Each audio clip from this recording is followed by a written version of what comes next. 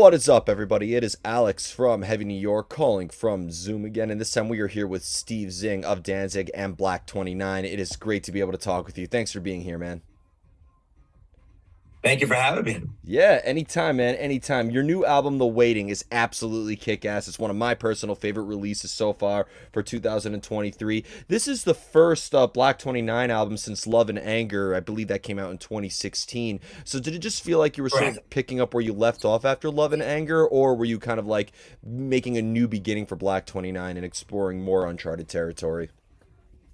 You know, it's one of those things where, um, you know, to pick up or start something new, it's it's just like it's a continuation of just whatever you're I'm feeling at the time, right? You know, it's like I don't really particularly write for any style or anything like that. So I think this album, what's different uh, with this than Love and Anger, this one takes you more on a on a ride excuse me, and it goes, you know, it, it's kind of got this roller coaster thing where you got highs and lows and highs and lows, and um, it's it's probably due to, you know, my ADD supreme uh, thing that I have with listening to music. Like when I listen to music, like it's hard for me to listen to a whole song. All right, I'll be on a treadmill for thirty minutes and go through sixty songs. It's just way I am. But with this, I'm like, I actually could listen to these songs in its entirety. So maybe that means something. I don't know. Yeah. Well, first off, I want to point out, I just noticed this now, but I love how your setting and your Zoom setting looks like the same exact color scheme as like the album cover. It really visually connects in a way. I don't know if that was intentional or not, but. Oh, no, actually, it's not. But uh, you know what? You're right. I guess, yeah, I guess because the album is, you know, black and red. Yeah, like it, it just blends into your background perfectly. Um, but like you couldn't have described it better with that it takes you on a ride. You know, there's some albums that I say are kind of like shuffle friendly where you could kind of like approach it at a different angle and like, you know, kind of start off with any song. But for this, I need to start off with Blackout and end with Long Cool Woman in a way. So, um you mentioned that you don't start off with a preconceived vision in a way, but like is there any sort of structure or any sort of uh sort of thing that ties every song together or sort of like a similar method behind the madness that applies to every song. I wish i could say there was but there really isn't because again it's it's like i when i write songs you know i usually start with a melody that i have. And i i you know thankfully for voice memos it's you know i hum into the phone and then myself and my my writing partner dan tracy uh, we get together and I hum it to him, and uh, he's got to decipher what that actually means. What's in my head? I almost hear the finished song in my head before we even, you know, take a stab at it. So that that's that's the way we work, and it, and it's and it works pretty well. Sometimes you are working on a song though for days or weeks or months. So like when you work on something for like a long period of time, is it harder to sort of like maintain that emotional spark or that main strike of inspiration when it first hits you? That's a good question. Yeah, it does. Because uh, again, I think, you know, look, in today's day, right, the world today, I think we're uh, we're on a daily roller coaster ride of emotions and all the crap that's going on in this world and what we're fed by media and everything else and i think that reflects on what you're thinking that day and if you if it's not a good day maybe that'll come out in more of a, an aggression aggressive type song but uh yeah i mean what i like to do is when i write a song i like to start it and we record it and you know except for the vocals and stuff we pretty much get through the whole thing. And then we finish the vocals mix it and then on to the next one. Well, uh, do you believe inspiration? This is a debate like I like to have with artists. Do you believe inspiration is something that could actually be sought out in a way? Like, can you take inspiration like a book off a shelf, or does inspiration not exist until it actually just strikes you? You know, I, I, yeah, I do believe that you can do that. You know, there are people that write songs. You know, there there are there are story songs. If you listen to Long Cool Woman, right, when the Hollies wrote that, that's a story song. You're telling you a re- that's a story, right? Um, you know, there there's ways there's a lot of people that write songs they just rhyme words, you know.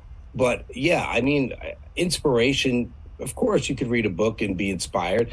You know, if you listen to the song Blackout, the song Blackout is actually about a girl that was following me on Instagram, and I and I would I followed her back, and she's like this goth chick, and and you know, cute girl, and and I would look at her stories, and that was the inspiration for that song. Wow. That's a really that's actually awesome. And uh, was blackout like her Instagram handle or something like that, or no? But um, you know, she's like, uh, you know, she's this, you know, this hot chick, and she's pale face, but everything black, and and she's just like to follow her stories. This, this girl's like can we push any more drama into your life? I mean, it's amazing, but it's that, that was the inspiration for that. I love how you really just made a modern day rock and roll but love song because we hear songs about girls all the time, but you really brought the modern twist to it, which I thought is great. You know, like uh, I, you know, like Type O Negative had Christian woman. This is Instagram woman. So yeah, basically. yeah.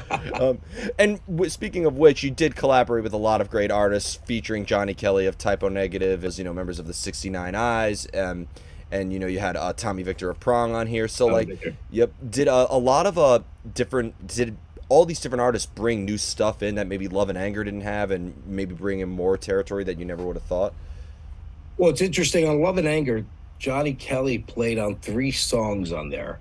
Um, and when I was doing the the label had asked me to do a duet, and I'm like with with Jyrki from 69 Eyes, and I'm like, what am I going to do a duet with two guys? Like, you know, it's kind of weird. But so I, I'm thinking like, what were some of my favorite songs like as a kid?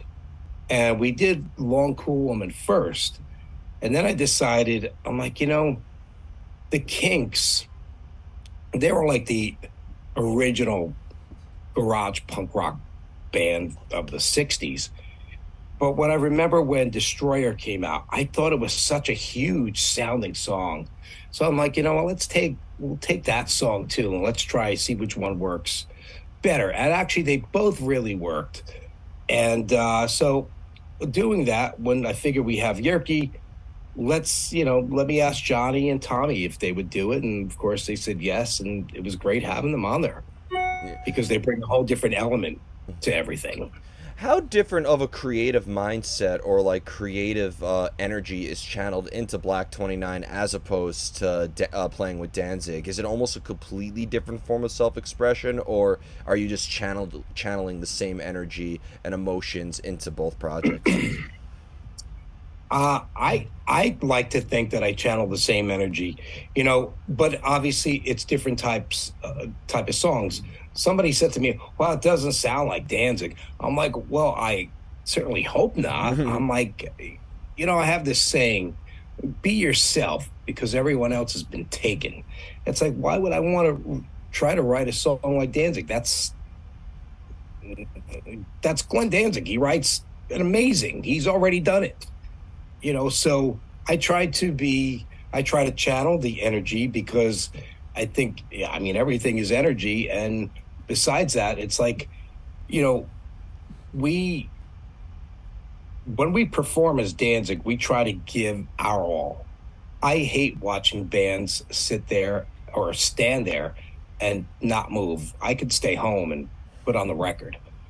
But whether you're recording or performing, you need that energy it, I need the energy because that's the only way it works for me. If I don't feel it, then how how is it going to convey to to the audience? Yeah, I mean, and also to take like the center stage in a way as well. I'd imagine that there's almost like a new essence of performance that you have to master as well, right? It almost seems like you're unleashing a side of you that maybe has not been seen before. Yeah, I mean, being a front person in a band is much different than being the bass player or the drummer. Yeah, it's a whole different uh, thing. I, you know, I sometimes I, you know, when we're playing with Danzig, I look at Glenn and I'm like, does he do that so well? you know, he just knows how to, you know, he could just look at the audience and people get go crazy, you know. Yeah. So it's it's it's it's all about energy. Yeah. When I saw him uh, at Aftershock Festival, uh, it was uh, truly a force to be reckoned with. So. Yeah. That was a fun show. Yeah, that was and hot. Oh, did you see Danzig or the Misfits? Uh, it, Danzig. Yeah, that was a fun show. Yeah, yeah. I, I think uh, it was to replace Judas Priest too, so I thought that was a fantastic, mm-hmm. uh, you know, replacement. Yeah, it was it was my first time seeing it, so uh, oh wow, very awesome. much worth the wait. Now, I do got to ask this, and I'm sure that every interview that you're going to do is probably going to ask you the same question. And I know it's cliche to ask, what does the band name mean? But any band with a number in their title, I always ask whether it would be 200 stab wounds or 96 bitter beings. Is there a significance behind the number 29? Yeah, it's my birthday. Really? It's the my birthday is the 29th of June. Oh. And so well, black I spelt it different, but uh, I love playing roulette. So I always bet black 29 and it usually comes out. So I'm a, I'm a one number guy when it comes to blackjack. I put 25 bucks a spin and it pays 36 to 1. So you do the math, it's like um, eight, it was 800. Oh no, almost 800 bucks a win. So it's like, yeah isn't isn't that bad luck to tell to tell your gambling strategy though? I don't. Yeah. I, I don't want to be the anybody reason. Anybody could do it. I don't want to be the reason you lose your house. yeah. No, I'm not. I'm not that bad. All right. Well, now that gambling is legal in uh, New York, I might have to hit up a casino after this interview because maybe maybe that luck ran off on me. I haven't had luck at the New York casinos. Yeah. Connecticut, yes. Jersey, yes, but not New York. Uh, well, I'm so. good to know. Good to know. I appreciate this insider info. um, now here comes the most difficult question of the interview. How do you know when you're finished with a song? You know, you don't. And one of the things about owning a home studio, uh, which I'm blessed to have, is you know when you're when you have to go pay time time is money and the money is yours so at some point, you got to go. Yeah, we're done. All right, because you'll you'll spend your life savings uh, on on recording. With your own studio, you don't. The only thing that that there is is your time, and so you you have that option to keep going back and changing. And at some point, you just have to stop and go. You know what? It's done. A friend of mine asked me the other day. He said, listening to the Blak29, would you right now go back and change anything about it? And I looked at him and I said, no. I mean, again, anything that I could do, yeah, sure. Can I adjust sounds here and there? Sure. Is it going to change anything? No, I don't think so.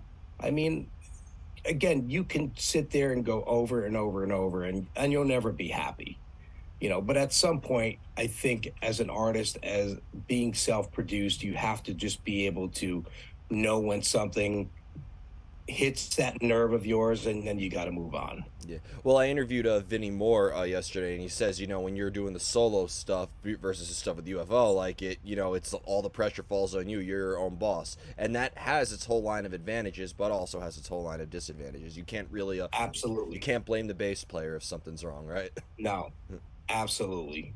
And look, the other reason why this is a much easier process for myself and Dan is that we're two people, right?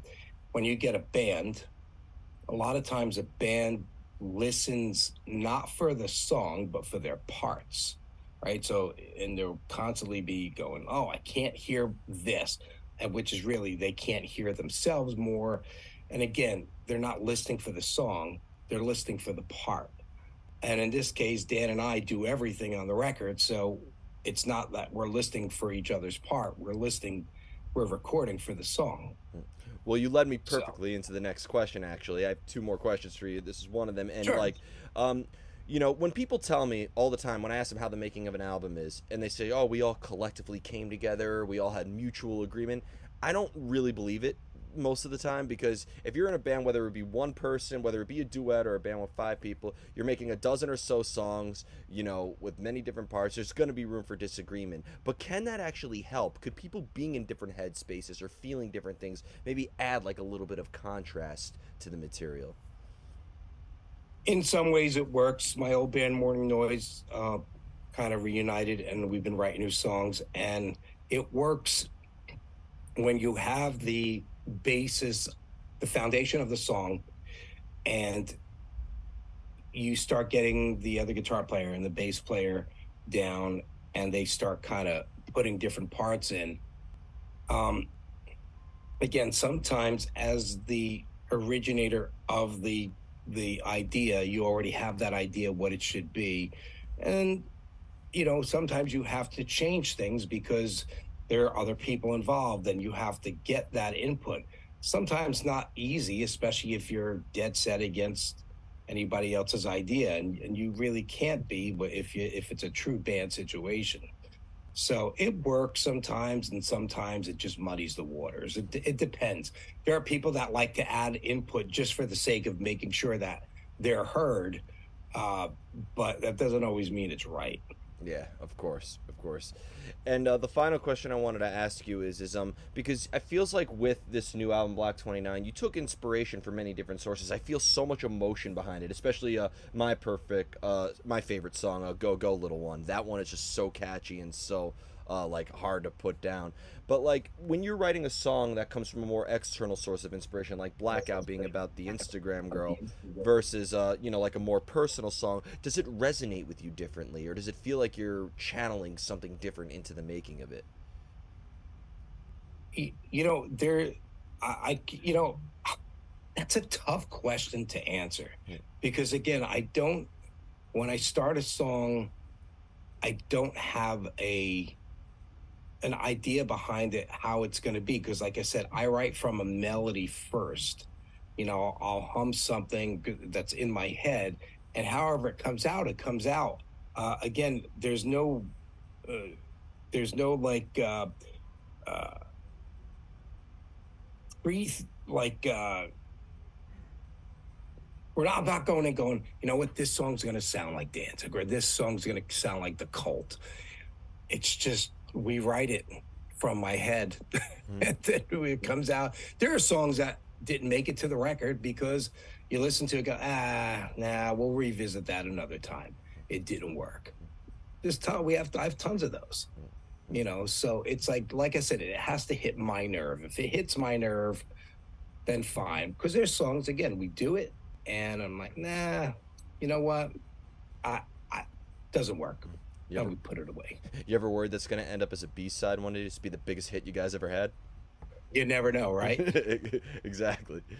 So uh, before we go, I want to thank you so much for your time today, uh, and thank you for this thank amazing new album. Um, I can't can't stress it enough. Check out the Waiting by Blak Twenty Nine. Just anything else you would like to promote for any project you're involved with in terms of tours or new music in the works. Blak Twenty Nine will be out there soon. Mourning Noise will be out there.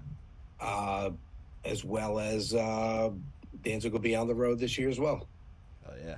Well, thank you so much, everybody. Steve Zing of Blak29, The Waiting Out. Be sure to pick it up. This is Alex from Heavy New York. We will see you next time.